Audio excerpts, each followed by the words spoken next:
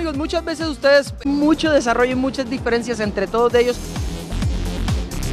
Háblanos un El Camry de producción tiene 268 caballos de fuerza. Vas a ver las, um, los, es un steel cage adentro. El motor tiene 850 uh, caballos de fuerza. Así es que absorber la esencia de los automóviles stock y ponerlos en un carro de carrera para que la gente se pueda, pueda